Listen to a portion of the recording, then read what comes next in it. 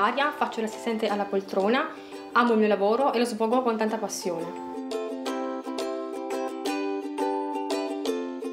Sono felice del rapporto che riesco a instaurare con i pazienti. Faccio parte di una grande squadra che dedica tanto tempo alla formazione per crescere.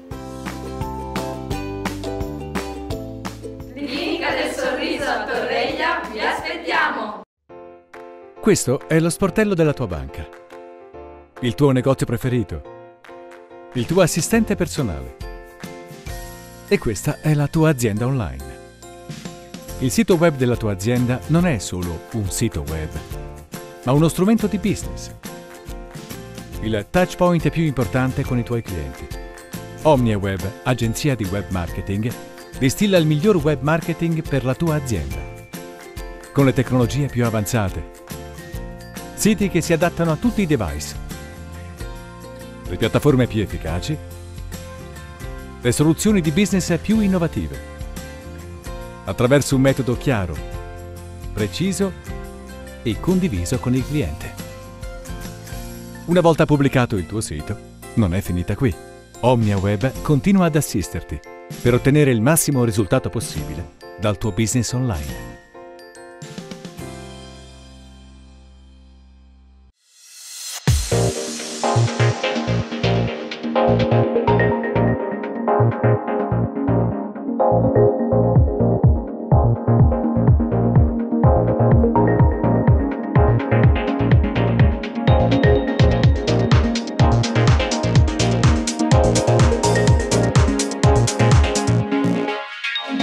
Contattateci Video Produzioni Telecittà.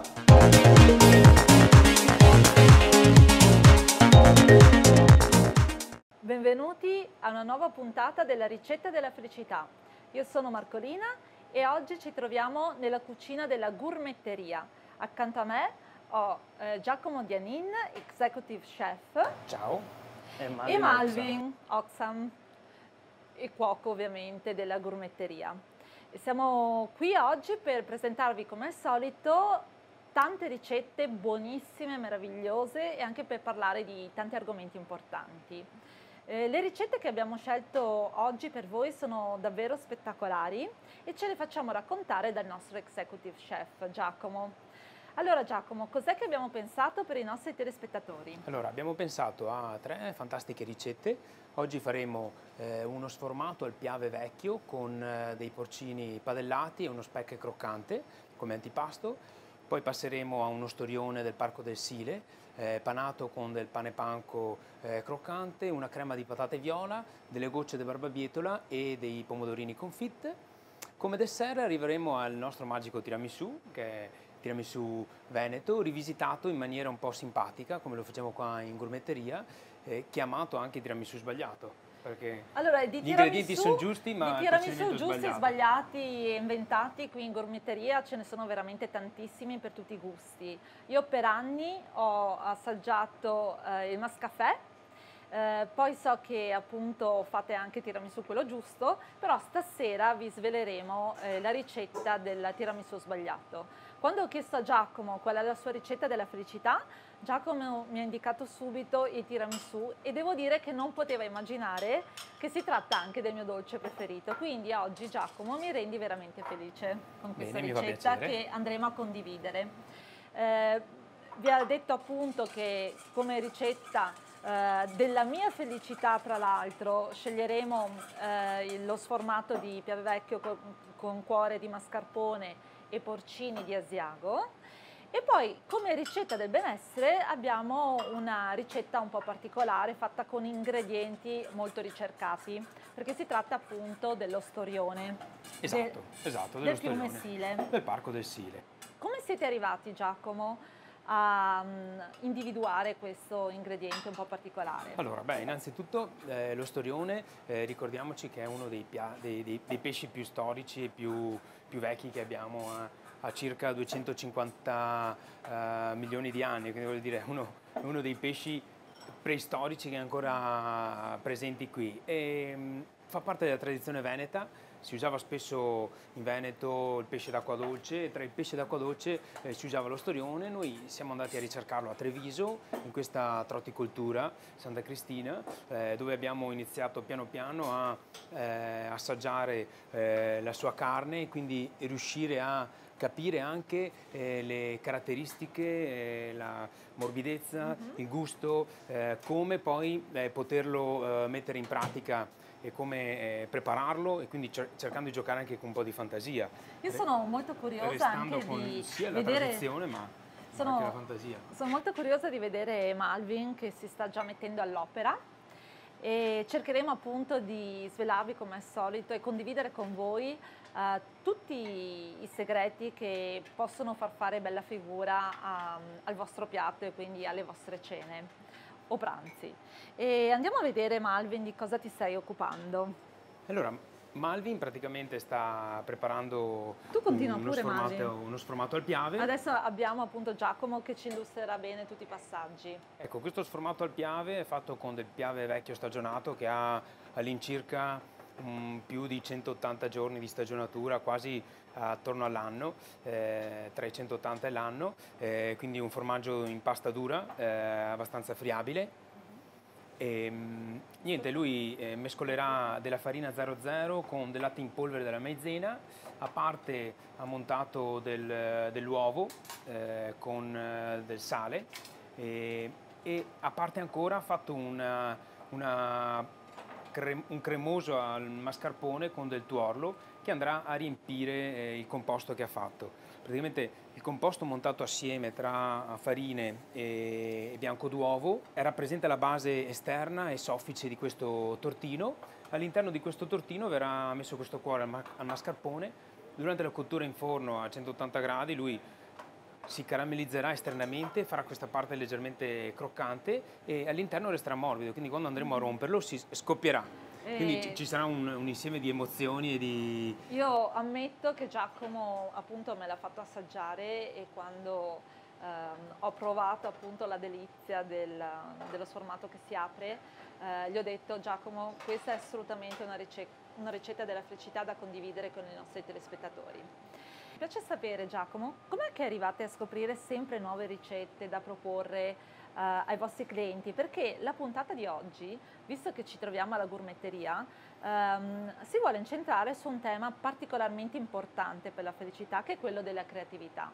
La gourmetteria per quello che è il concept di questo ristorante è veramente il trionfo uh, della creatività. Poi uh, vi mostreremo appunto quando andremo a cena che oltre ad essere serviti degli ottimi cibi in tavola, eh, i clienti possono anche comprare un sacco di prodotti che sono stati selezionati eh, in tutto il territorio dal titolare, da Daniele. E appunto ti volevo chiedere dove nascono le vostre idee? Le nostre idee nascono da una base di tradizionalità e da una base di fantasia.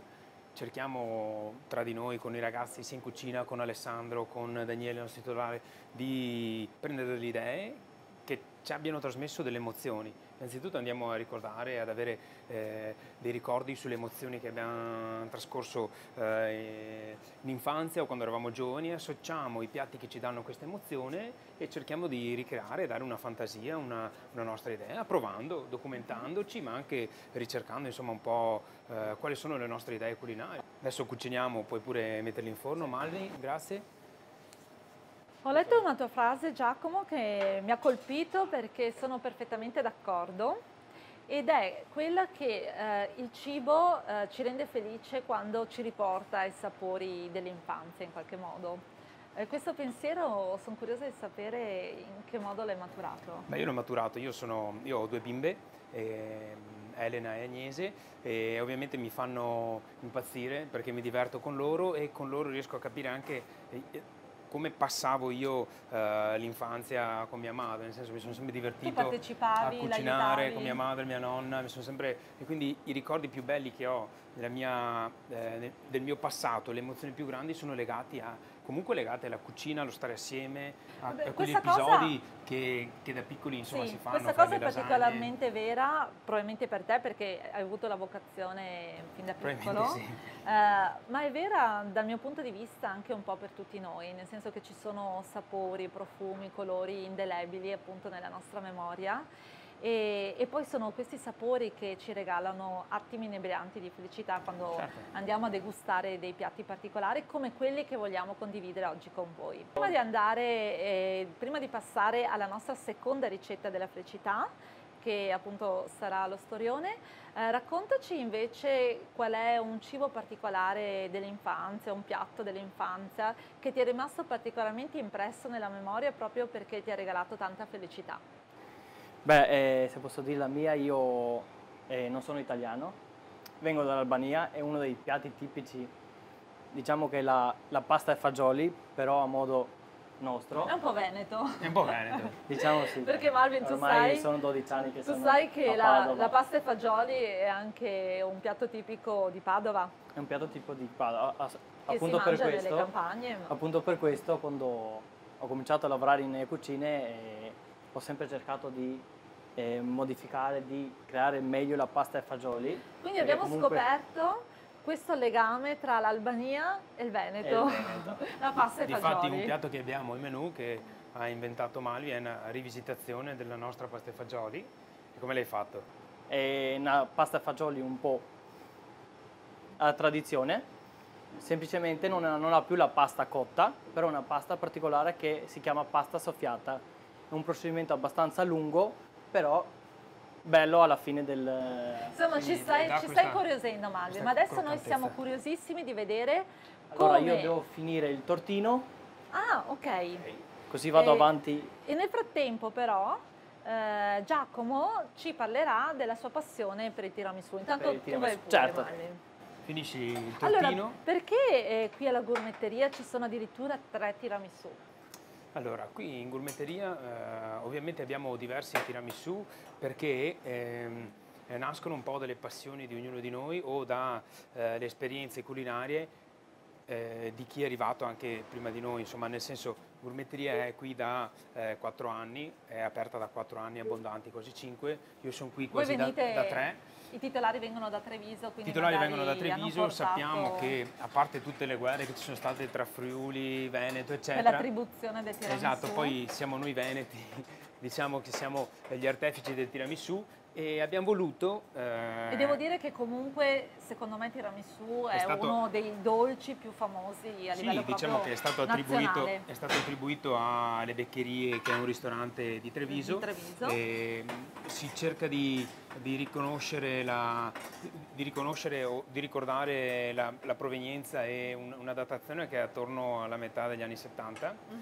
E niente, io ho voluto rivisitare il mio- la mia idea di tiramisù. Io ne ho mangiato tanto da piccolo, ne ho mangiato, eh, vi- visto questa passione. Giacomo, sai che si dice che il tiramisù fatto in casa spesso è meglio del tiramisù eh, mangiato al ristorante, però questo vale per tanti posti ma non per la gourmetteria.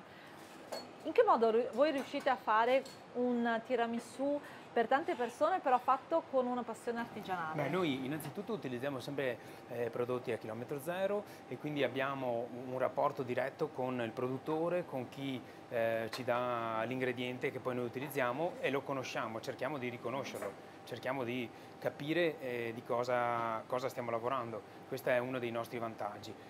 E, e poi cerchiamo di mettere la tradizione all'interno de- del piatto che andremo a fare. E quindi eh, cercheremo di eh, creare poi la nostra idea di tiramisù, insomma. ecco. Mhm. Adesso stiamo guardando Eh, Malvi. Malvin di cosa si sta, Allora lui sta occupando? preparando eh, il nostro storione, lui adesso sta Ah, tostando bene. questo pane panko che sarà la parte croccante che eh, daremo allo storione. Il pane panko ha un'origine orientale, diciamo che è una... E quindi i nostri telespettatori dove lo possono Lo trovare? possono comprare in un negozio etnico o, o comunque anche in una parte eh, dei negozi de- eh, che, che dedicano ingredienti etnici o lo possono fare in casa. Lo possono fare in casa, eh, come si può dire, cercando di eh, avvicinare eh, il, il prodotto simile, in una maniera simile a quello che abbiamo noi. Eh, la fanno in casa sbriciolando del pane eh, in cassetta, del, della mollica del pane in cassetta. Ok, Dobbiamo quindi stare è come se fosse la molto attenti quando lo prepariamo perché è delicato e poi noi con le piastre in induzione altrimenti se no lo tostiamo subito. È come se fosse una- un pan grattato fatto di mollica.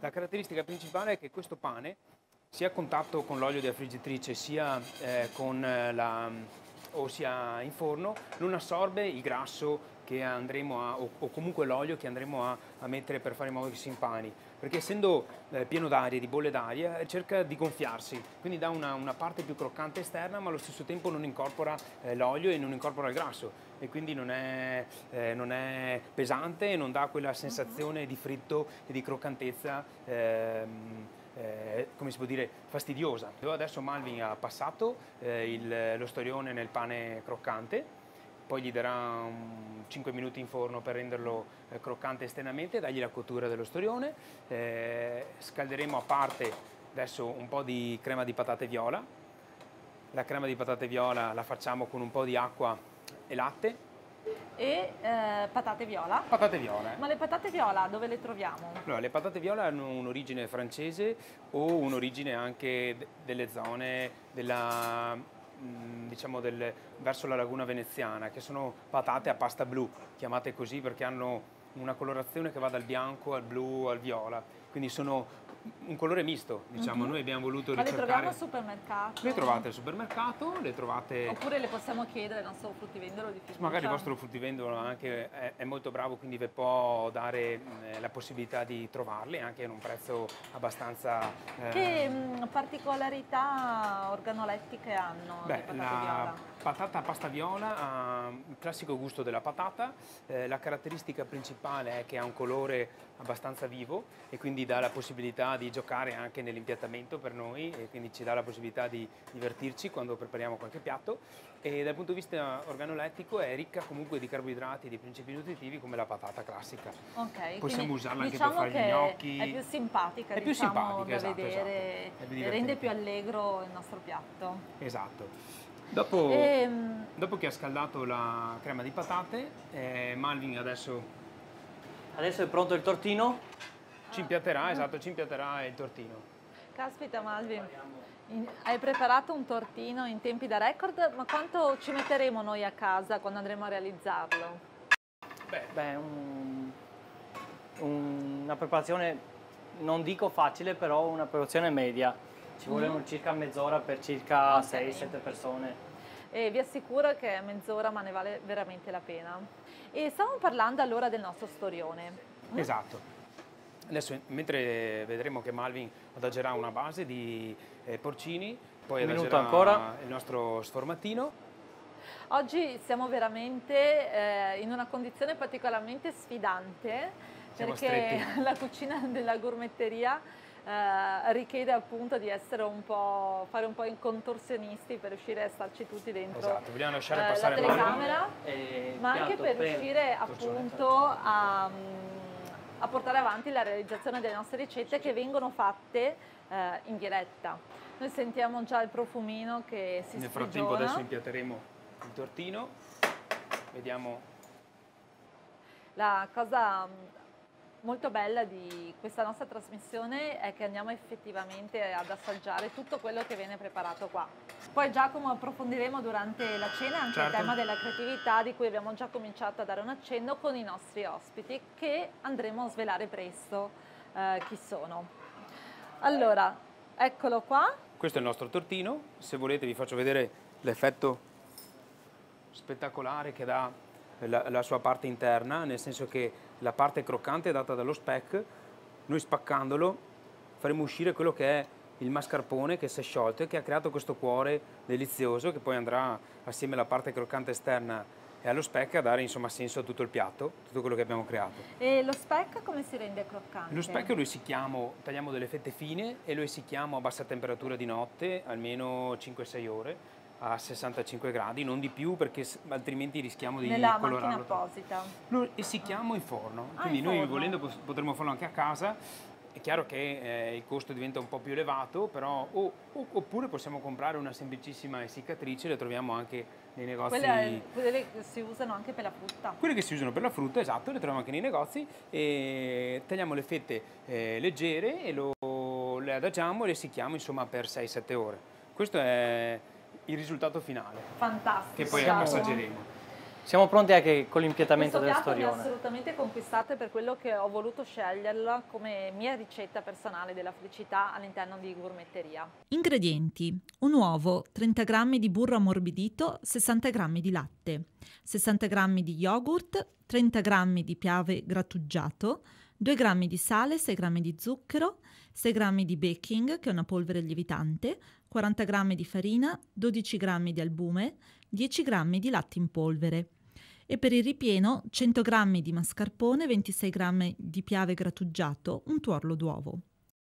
Vediamo una, un attimo infatti questa ricetta molto particolare, diciamo allora. che se quello, eh, lo sformato è una ricetta media come difficoltà, lo storione come potremmo classificarla? Un po' più alta, sì? un po' più alta perché dobbiamo comunque o troviamo il nostro eh, eh, pescivendolo di fiducia che ci sbaffa e ci dà comunque il trancio già pulito, o altrimenti diventa un po' più complesso perché dovremmo eh, sfilettare lo storione e creare poi noi quello che è eh, il trancio e la forma che vogliamo dare al, eh, al, nostro, al nostro, pezzo di carne. Ecco, eh, lo storione è una carne eh, molto morbida, è ricca di proteine, eh, ha dei grassi insaturi, quindi comunque non è pesante. Eh, è famoso lo storione per la caratteristica principale che è la produzione del caviale. Del caviale. Noi abbiamo voluto però eh, ri, ritornare appunto alle nostre tradizioni e ritornare comunque a, ai piatti come si faceva una volta i poveri. E che è un po' la caratteristica di generale di gourmetteria esatto. che quest'anno ha vinto uh, un premio per lo street food sulla guida del Gambero Rosso. Esatto, praticamente il premio l'abbiamo preso perché abbiamo avuto la possibilità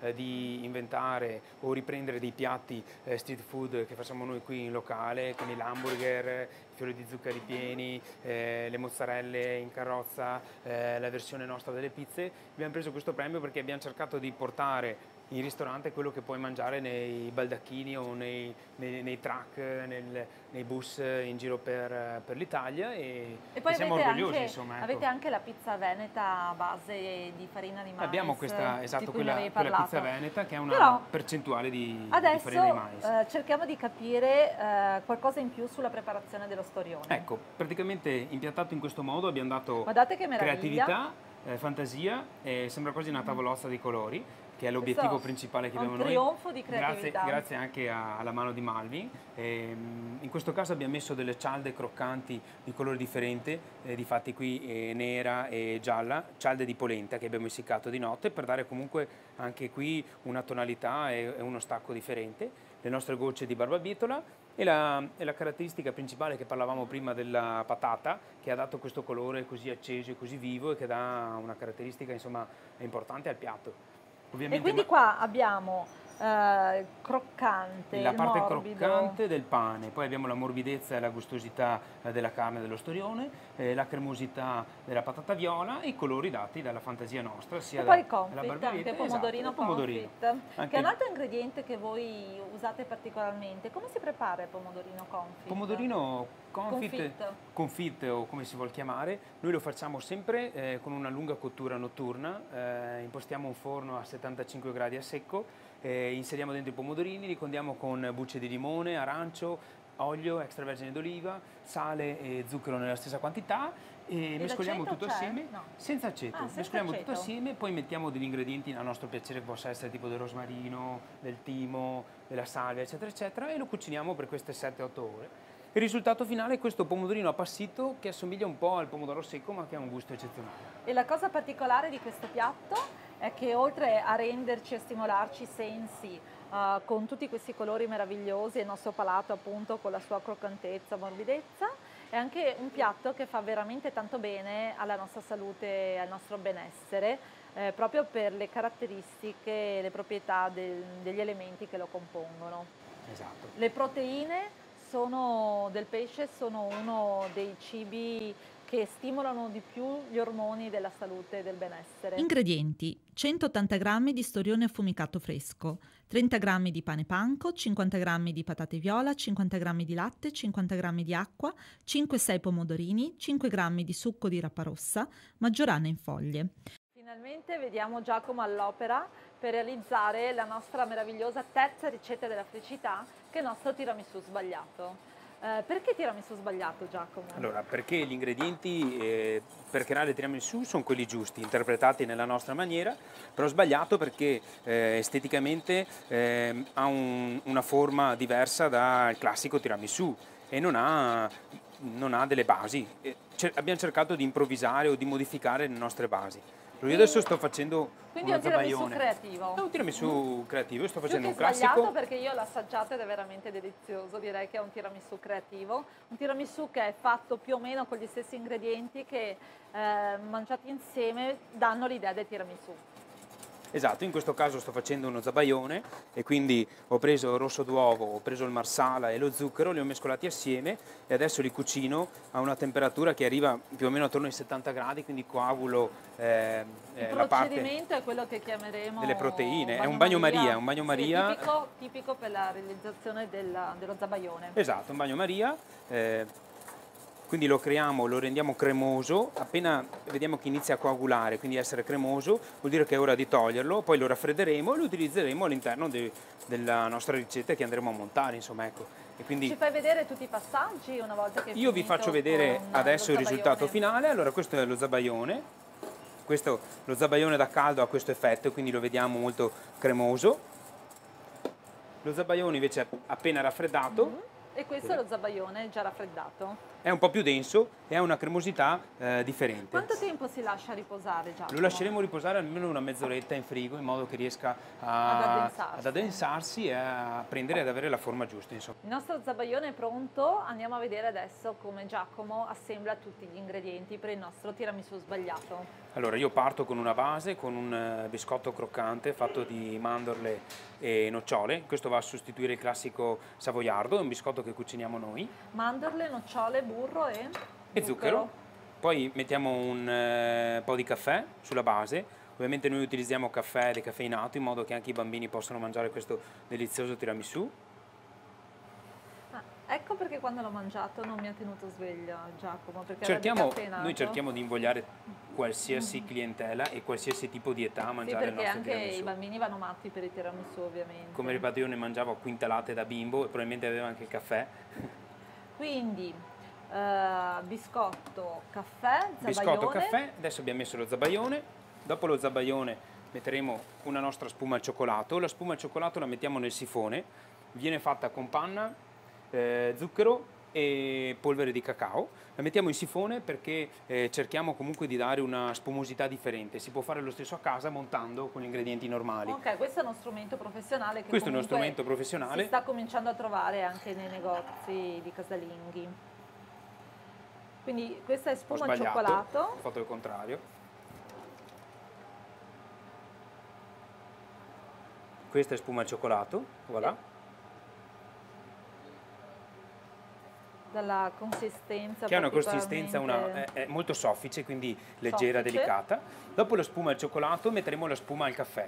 La spuma al caffè è fatta allo stesso modo, solamente che utilizziamo panna e caffè anche qui decaffeinato con un po' di zucchero dà una consistenza differente, il colore è leggermente più chiaro e questa consistenza di leggerezza e, di, e, e rende più soffice diciamo, questo piatto che all'inizio può sembrare un po' pesante perché c'è lo zabaione e l'uovo. E questi cosa sono Giacomo? Questo invece è un crumble croccante che è un, eh, una base di un biscotto sbriciolato, noi l'abbiamo chiamata terra, eh, mm. si chiama terra anche, fatto e con zucchero, cioccolato, burro e farina mescoliamo tutti gli ingredienti assieme con, con la frusta e il cacao e con la frusta creiamo queste piccole palline che sembrano tipo dei, dei, dei, dei servono a guarnire delle bricioline di terra esatto sbagliato. questa va a, a, chiudere e a coprire il nostro piattino e, e diamo questa, questa, questa, idea di eh, come si può dire di stratificazione della Beh. terra eh, è nato anche in questo modo, così. L'aspetto è decisamente scenografico. Manca il tocco finale, Poi Giacomo. lo decoriamo alla Qual fine con,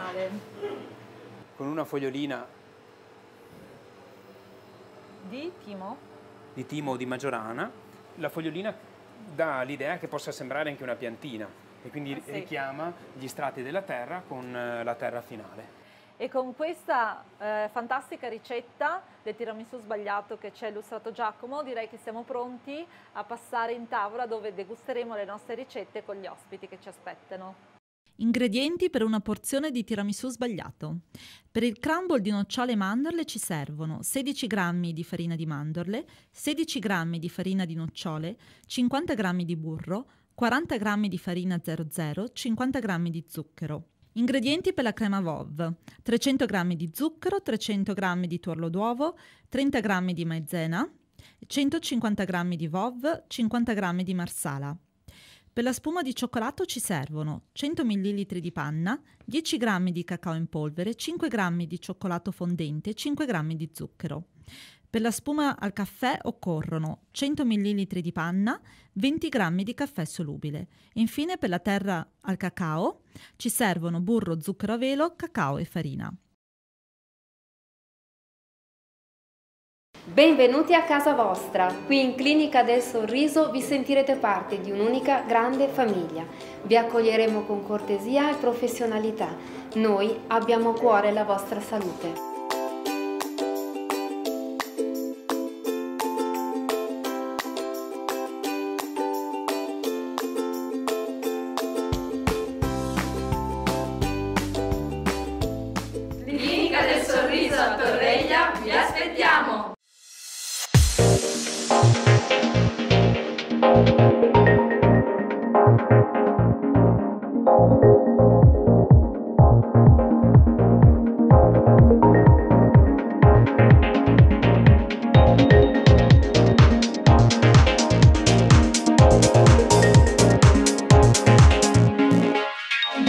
Contattateci Video Produzioni Telecittà.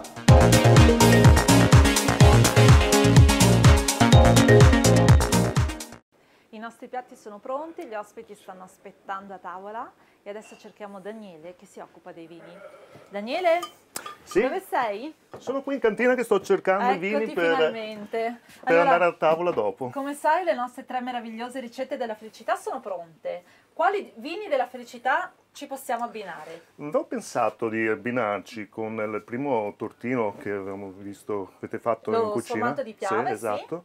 Con, Con un soave. Un soave diciamo, è una selezione che noi facciamo, che ho fatto di un piccolo produttore nel soave classico, zona vulcanica, bellissima mineralità ma grandi profumi e che si abbina Bene. perfettamente con il tortino. Daniele, tu sei, oltre che titolare, anche proprio il creatore e l'ideatore di gourmetteria Esatto. e scegli personalmente tutti i prodotti che si trovano qui nel negozio, oltre ad essere anche sommelier. Quindi, eh, per la nostra seconda ricetta, che è lo storione, cosa ci proponi? Lo storione pensavo qualcosa di un po' più aromatico, di passare, andare verso sui coglio e quindi uno schioppetto, una malvasia di Mario Scoppetto. Benissimo. E infine per il tiramisù? Beh, questa Andiamo- esplosione di creme che ci sono il tiramisù, che dopo lo vedremo o comunque l'avete già visto in anteprima la preparazione, si abbina perfettamente un moscato dei colli eugani, quindi torniamo qui in modo locale diciamo e quindi una bella bolla e interessante, con la bella Benissimo. romanticità per cui Allora bellezza. adesso io ti posso aiutare per portare i vini e raggiungiamo i nostri Prego, ospiti sì. a tavola. Ed eccoci a tavola eh, per degustare le nostre ricette della felicità e siamo pronti anche a presentare gli ospiti di questa sera. Daniele. Daniele chi hai invitato? Beh, ho invitato un po' di amici, colleghi, e quindi abbiamo Emanuele, che è il nostro sommelier, consulente, amante del vino, quindi eh, condividiamo molto. Questa diciamo che è la parte della tavolata eh, dedita appunto all'enologia perché tu sei sommelier, Sì, esatto. tu Emanuele sei Anche? Sì, sommelier sì. E poi abbiamo Alessandro che vende vini ma anche lui è sommelier. E poi da questa parte?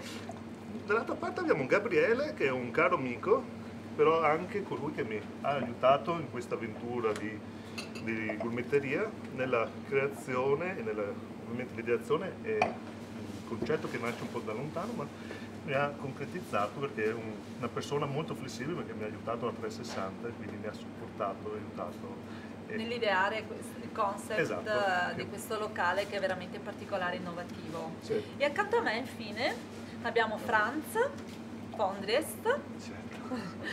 un passato eh, da ciclista professionista. Sì, direi che non sono quello conosciuto di più, ho fatto professionista, mio fratello però fratello tu- si è conosciuto, sì, in effetti. E invece un presente particolarissimo.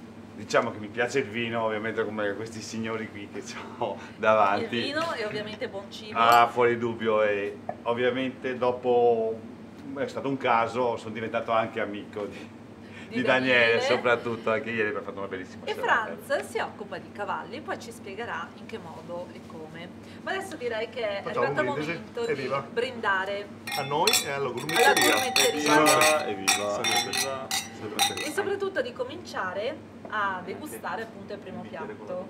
Il primo piatto che ho voluto scegliere io perché è un piatto veramente fantastico, sono curiosa di sapere cosa ne pensate voi. E si tratta appunto dello sformato di piave con porcini e cuore di mascarpone. Ovviamente, come vedete, anche speck croccante. Come hai fatto a ideare un posto così diverso in cui oltre al cibo eh, c'è un'offerta vastissima di tante altre cose e di tanto colore? Sì, diciamo che l'idea nasce da lontano, forse nasce soprattutto, come dicevo prima, dalla mia grande passione in questo mondo enogastronomico che mi ha trasmesso un po' la mia famiglia, mio padre, ma sicuramente i viaggi e la scoperta andando in giro mi ha, mi ha arricchito molto di più. Ma l'idea di unire e combinare appunto l'offerta eh, di cibo e anche di prodotti. Eh, avevi visto qualcosa del genere da altre parti, in qualche altra città italiana? Beh, in Italia non ancora, ma all'estero è ancora già diffuso il fattore di mangiare negli store o nel- ci sono degli angoli del corner in cui si possono comprare le cose e mangiare insieme. E quello che volevo fare io, questo era proprio un viaggio nella ricerca delle nostre Italia che noi ci vantiamo, sappiamo il patrimonio che noi abbiamo, ma molte, molte volte non sappiamo valorizzarlo. E quindi era un po' ritornare alle origini e a valorizzare il territorio. Per questo che ho cercato di fare una rappresentazione dell'Italia, come lo voglio chiamare, divisa per regioni, una piccola rappresentazione perché sappiamo che il nostro patrimonio per fortuna è amplissimo, anche se lo stiamo perdendo in modo importante E quindi è un modo anni. anche per eh, mantenere vive quelle che sono le tradizioni Esatto. delle varie regioni d'Italia. Esatto. E mh, c'è qualcuno che ha cercato di fermarti in questa tua idea così coraggiosa, Daniele? Beh, eh, no, diciamo no, però sono una persona abbastanza testarda, e, ma soprattutto la passione, la volontà di fare riscoprire, perché appunto, come ripeto, abbiamo questo patrimonio, ma sta scomparendo, perché basta pensare a tutti i prodotti che noi abbiamo, ma oggi come oggi è anche difficile più trovarli in giro, recuperarli, e anche stessi piatti nella nostra tradizione, bellissima, che noi abbiamo, ogni ricordiamoci che ogni paese, da una provincia all'altra, abbiamo piatti, sapori, gusti, vini differenti, Totalmente diversi. ma che stanno un po' sparendo, però c'è la volontà di riscoprirli. Infatti come gourmetteria siamo anche soci con Slow Food, abbiamo fatto l'alleanza con i cuochi di, di Slow Food per riscoprire appunto i prodotti del territorio. Quello che facevano un po' i nostri nonni quando andavano, le nostre nonne principalmente, chiamiamole così, quando andavano nell'orto, nell'aia, che adesso fa un po' diciamolo bello dire chilometro zero, stagionalità, ma una volta era così. Ma la cosa importante è la conoscenza dei prodotti, che uno si sta perdendo e se non si ha la conoscenza, come si vuol dire, la creatività viene meno. E i padovani come hanno accolto questa tua proposta? Beh, Padovano era molto eh, diffidente all'inizio perché ovviamente non avendo un'entità, una storia alle spalle, non capivano, mi hanno studiato diciamo, per capire chi Quindi, ero e chi sei. All'inizio c'è stato un po' di diffidenza. Sì, sicuramente quello, sicuramente c'è stata un po' di diffidenza, però poi hanno apprezzato e quando hanno capito che il mio progetto porta avanti la qualità e il territorio l'hanno abbracciato a pieno. Quindi è una bella soddisfazione per me avere questo riconoscimento soprattutto delle persone, perché appunto il padovano viene eh, in gourmetteria dal passaparola degli amici, quello è la cosa più bella, la pubblicità più bella che uno può avere. Anche perché è un format che mh, abbina la qualità, un buon servizio, ma in modo informale, come si vede, come noi siamo qui che stiamo mangiando. Sì, è sulla- molto allegra, infatti io Sì. dico sempre che non si può entrare in gourmetteria senza uscirne più felici.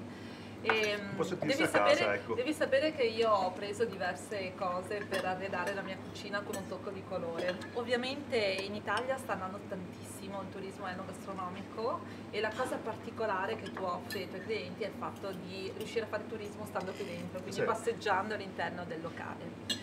Io adesso vorrei appunto chiedere mh, a Franza invece di raccontarci ehm, in che modo eh, ti sei approcciato al mondo eh, del cavallo. Faccio breve perché altrimenti potreste stare qua qualche giorno.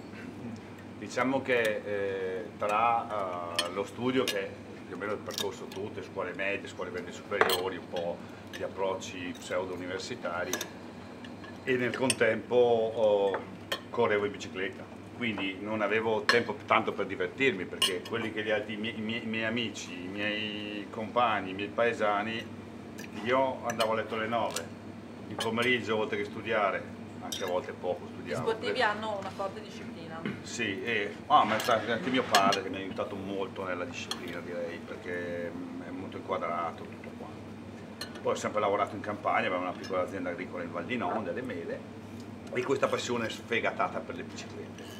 Dopo, poi la testa non funzionava, devo dire la testa, perché testa giusta al momento giusto è una cosa essenziale. Ho smesso piuttosto presto nella bicicletta, ma da piccolo ho sempre avuto la passione dei cavalli, mi approcciavo agli asini, tutti quello che erano gli animali, ma più che altro questi qua da, da poter montare, questa cosa fosse enfatizzato quello che poteva essere il western, quello che era il salto, queste cose qui. E a quel punto, prima, tu- quando, quando, fatto un salto dalla bici ma sì, al di- di- diciamo che prima montavo così come tutti quanti, eh, montavo a cavallo e facevo il mio giro. eh. Poi mi sono approcciato al cavallo e mi sono detto, ma cavolo, io faccio il professionista, inizio a farmi la ginnastica al mattino, lo yoga e tutto quanto, mi guardo il mio fisico, se siamo in due bisogna capire anche che psicologicamente una giornata non è come l'altra. Quindi il cavallo, dico, cavolo, il cavallo sarà pure come il cavaliere, quindi è ancora più difficile mettere insieme due binomi. Quindi è è iniziato lo studio del cavallo, capire l'etologia cognitiva, la biomeccanica, la tecnica equestre e poi ho iniziato a mettermi in discussione. Tanti dicono, ma sto cavallo non va. Come non va il cavallo? Il cavallo può darsi che non va, non ha la giornata, ma siamo noi che roviniamo gli animali, è l'uomo che rovina, perché con le sue rigidità, con le loro con le tensioni, con la non conoscenza sua. Ma Franza, quando tu hai cominciato questa attività, ti sei in qualche modo creato inventato quello che dovevi fare, il tuo approccio eh, con i cavalli hai avuto dei modelli? Diciamo eh, che eh, quando ho iniziato a frequentare più il mondo del cavallo mi sono detto ma questi qui non fanno, non fanno, gran parte, eh, ci sono dei gran fenomeni, capiamoci. Ho detto ma cavolo qua io mi faccio veramente, sono schematico e faccio lavoro.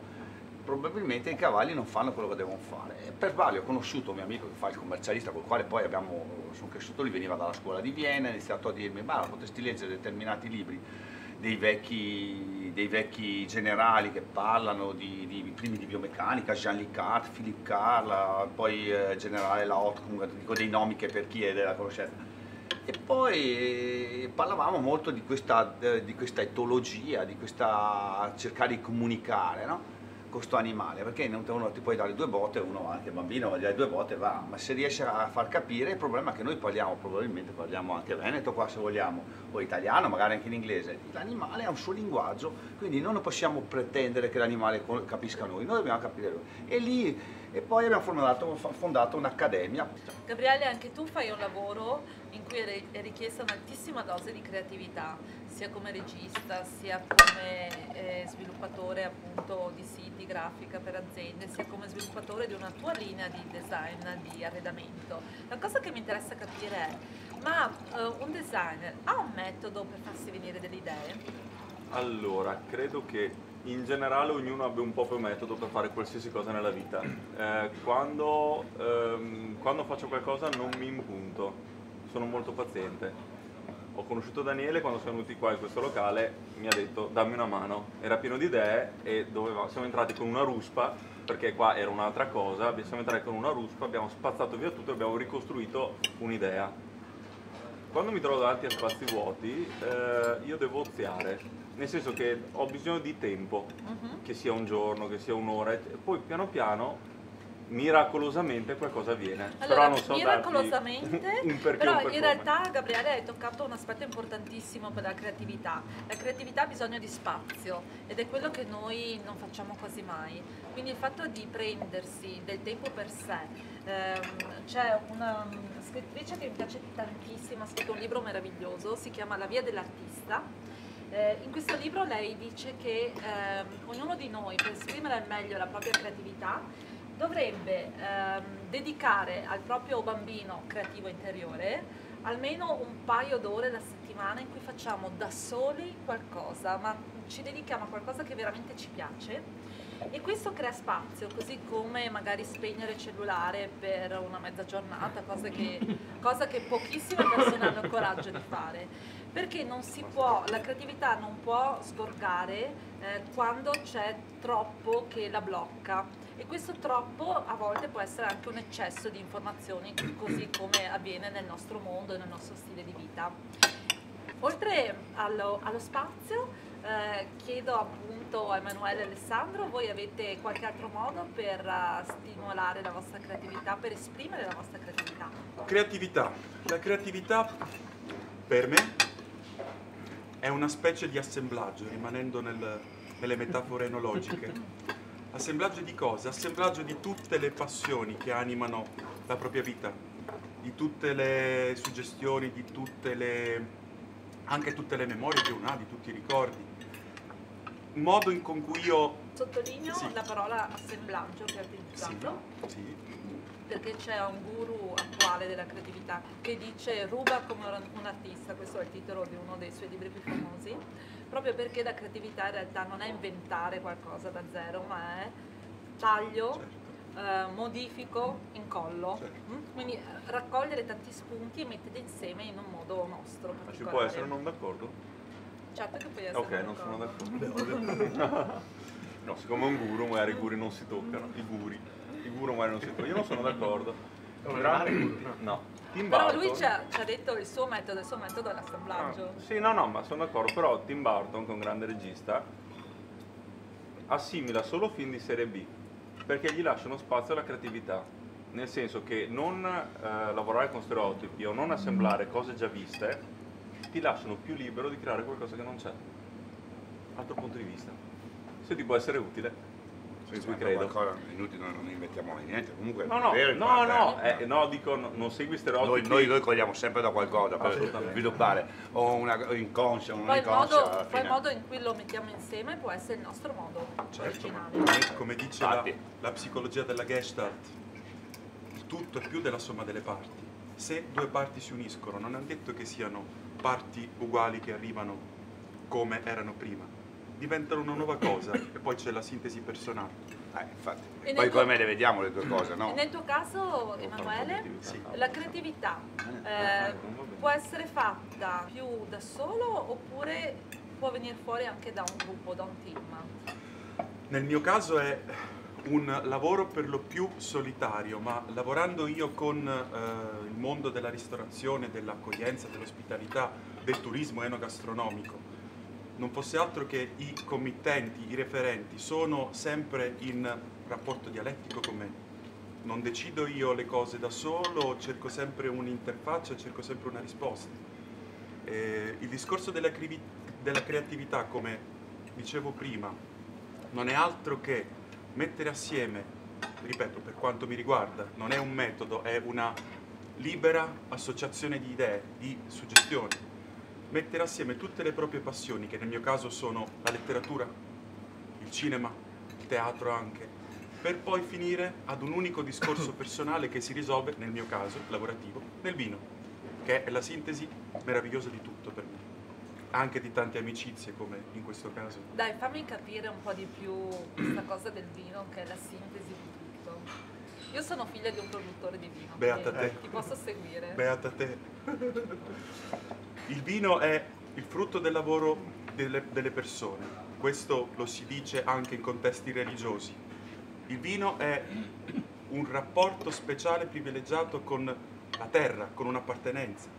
Il vino, sì, il vino è un simbolo importantissimo. Attorno a una bottiglia di vino si nascono amicizie, rapporti d'amore, ehm, si indugia in un bicchiere in più, a volte anche per Idee? ricordare qualcosa. Certo, sì, per ricordare una persona che è lontana, per accelerare la coscienza. anche. Qua vorrei mh, eh, appunto citare anche un altro guru che è il numero due dopo De Bono della creatività che è Jaoui e lui dice che appunto ci sono due fasi nel processo creativo, Sì. una divergente in cui si lanciano un sacco di idee e una convergente in cui si cerca di tradurle in qualcosa di concreto.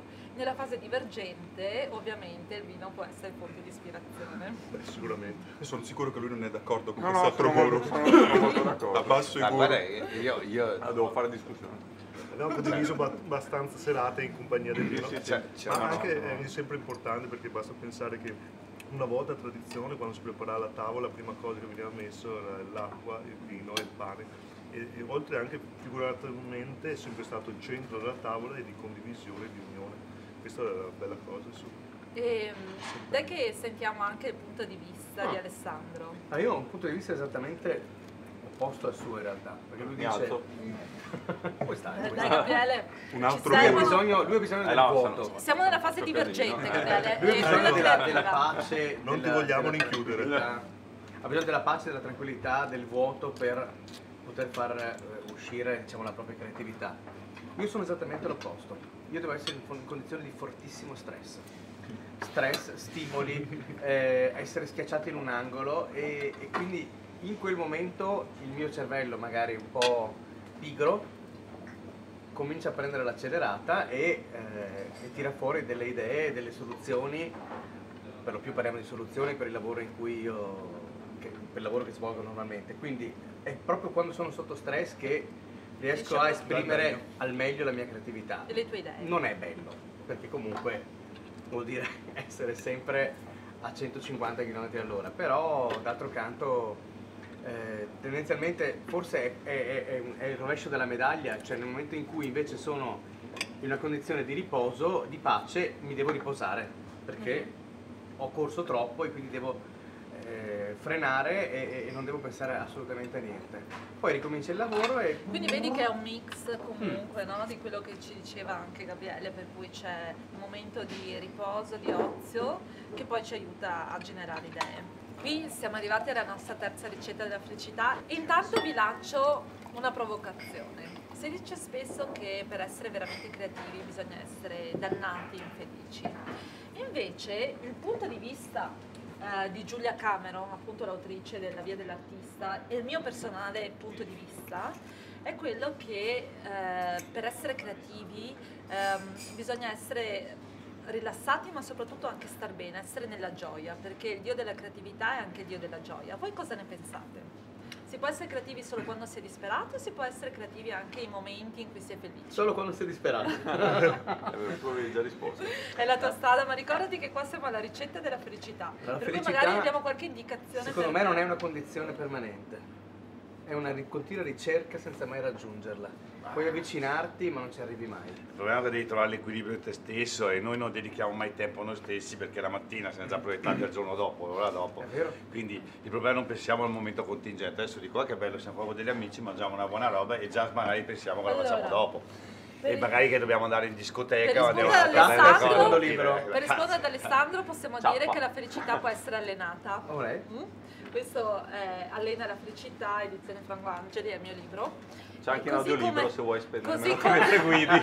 così come la creatività, nel senso che il nostro cervello ha un sacco di possibilità di essere plasmato, l'importante è dedicarci a una pratica intenzionale, quindi adesso ci diamo qualche consiglio e diamo anche qualche consiglio ai nostri telespettatori per allenare la nostra creatività, raccogliendo alcune vostre idee, alcuni vostri suggerimenti e poi magari io ci aggiungo i miei. E co- in cosa consiste allenare la creatività? Come possiamo allenare la creatività? Ma secondo me in cucina è quella della conoscenza, conoscenza che parte dal presupposto di conoscere la materia prima, perché conoscendo la materia prima si sa lavorarla, si sa trasformarla. Conoscenza vuol dire anche mh, le, le modalità di lavorarle, le, le- tecniche di lavorazione, perché poi alla fine il piatto io mi piace paragonare un po' come un'opera d'arte che eh, un quadro. Sono mille colori, però bisogna saperli dosare e saper avere la tecnica. Non servono mille colori perché come sappiamo i- per fare i mille colori bastano i quattro primari per fare tutti i colori di questo mondo, però bisogna conoscerli e conoscere come lavorare. Bravo, perfettamente. Dai, mi interessa avere eh, appunto un uguale, input da parte vostra. Come si- com'è possibile allenare la creatività? Fare secondo me un viaggio a Napoli sarebbe la cosa migliore. Stasera. Per forza. Viaggiare sicuramente ci apre nuove prospettive. Inventare la vita ogni giorno. Cosa vuol dire al di là del proclama? Vuol dire fare dei gesti anche contro la routine. A me piace, ho conosciuto anche molte città con questo metodo. Piace ehm, percorrere delle strade, dei vicoli per raggiungere un tragitto magari molto più lunghi, magari molto più scomodi. In questo percorso si scoprono nuove cose. Quindi la- lapidariamente. La creatività la si coltiva facendo cose diverse dall'ordinario. Percorsi non convenzionali. ma, ma- ma tu le fai diverse in ogni caso, se tratti con la gente, ogni giorno ti inventi, al di là della strada, cioè anche noi con un cavallo, non è che il cavallo è uguale, c'è un metro, ogni giorno ce l'hai in situazione, già, già una- un modo per stimolare la creatività, eh. cioè non è che...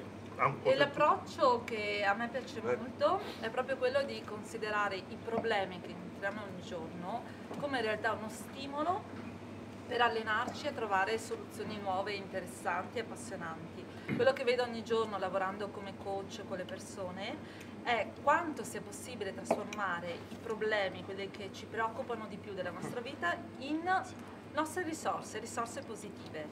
E mh, agganciandomi a quello che ha detto Emanuele, effettivamente ognuno di noi è creatore della propria vita. Questo ognuno di noi effettivamente è una fonte e ha una fonte inesauribile di creatività.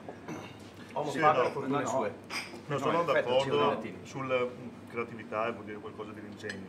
Però creatività, come dicevo prima, è qualcosa di data dall'esperienza, conoscenza, dal sperimentare, ma la creatività, anche l'ultima cosa, è quella di vedere la, appunto, la realtà in modo differente, perché molte volte come geometria o come qualsiasi cosa, non è un inventare, non si inventa più niente, è un proporre in modo differente. diverso. e la creatività è quella, Mettere proporre insieme cose, cose differenti, in modo diverso. vedere non più dalla propria finestrina o quella classica la realtà, ma spostarsi e presentarla E in c'è una differente. poetessa che riassume molto bene quello che hai detto tu Emanuele, che dice lentamente muore chi è schiavo dell'abitudine. Mm? Chi non sperimenta, chi non si mette vestiti nuovi, chi non osa colori nuovi. Chi non tiramisù. Chi non Eh. prova ricette nuove. Allora, dai. Salute. Tanto, tanto non ci piace, Salute. beviamo due bicchieri. Cheers. Cheers. Cheers.